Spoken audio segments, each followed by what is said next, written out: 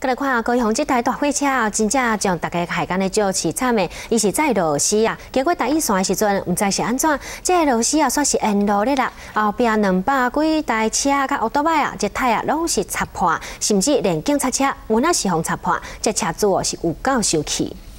我我未报的，我去官方讲啊，你我看，啊你过来拍空的。一个车辆拄过人全部是钉啊，车主够生气，本来要去上班的时阵，后来伊的车辆去用堵破，不但未付，搁还家己出钱来换一个车辆有够气。伊啊落去，